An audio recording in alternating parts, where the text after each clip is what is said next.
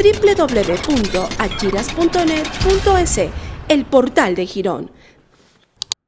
Bueno, nosotros conocemos que en este caso el MIES ya cuenta con esos recursos porque lo que se hace es una redistribución. En realidad al momento está todavía en actual vigencia el gobierno del presidente Rafael Correa. Una vez que ya se ha posesionado el 24 de mayo el presidente Lenín Moreno, efectivamente ahí se darán ya los lineamientos porque en este caso el tema del aumento del bono de desarrollo humano es un tema referencial en virtud de cada uno de los casos que se presente. No se establecía que todos debían ser eh, incrementados a 150 dólares, sino que se iría valorando cuál es la condición de cada familia. En este sentido, entendemos que se está ya realizando las gestiones porque para la oferta de campaña que conocemos se ha considerado sobre todo ya parte de los recursos sociales que se tienen comprometidos. En este sentido, una vez que nos den los lineamientos, pues nosotros como MIES procederemos con nuevamente la revalorización de cada uno de los sectores de las familias. Hubo varias gente que entendemos ha sido anotada. En este sentido, serán ellos convocados o llamados posteriormente para verificar cuál es la condición de ellos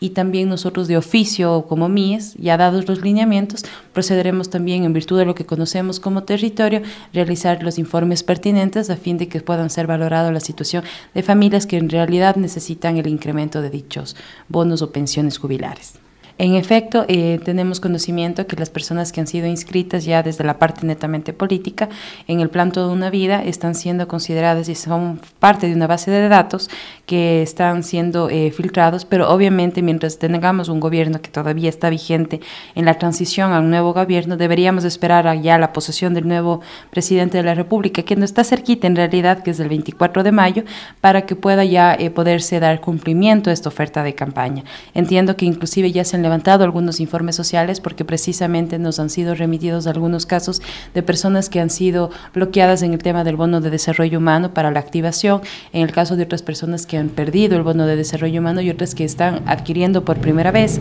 Nosotros como MIES hemos adelantado ya un trabajo en virtud de las denuncias ciudadanas y sobre todo de los requerimientos y peticiones. Y lo que estamos esperando es ya eh, una vez que esté en vigencia el nuevo gobierno, que es básicamente una continuidad sobre todo del tema de atención en el sector social, poder dar ya como paso a estas ofertas de campaña. Al haber el MIES interferido o intervenido en esta forma, hizo campaña a lo mejor el MIES a favor de un candidato. En este caso, nosotros básicamente lo que nos encargamos de realizar es eh, la información acerca de los créditos de bono de desarrollo humano. En lo que tiene que ver con las ofertas de campaña, nosotros mal podríamos pronunciarnos todavía cuál será el procedimiento, toda vez que nos encontramos en vigencia del actual gobierno, pero entendemos es un cumplimiento que ya tiene, sobre todo establecido de dónde serán los recursos que se obtendrán para poder hacer esta valoración y que obviamente las personas que en su mayoría ya reciben el bono de desarrollo humano puedan aumentar el mismo y las que no tienen, pues efectivamente puedan ingresar. Quienes no se hayan inscrito pueden hacerlo. Entendemos que podrían acercarse más bien ya a las sedes de los diferentes del movimiento político, donde están todavía entiendo yo inscribiendo planes toda una vida o hay una página web, pero esto corresponde a un tema netamente político más que institucional.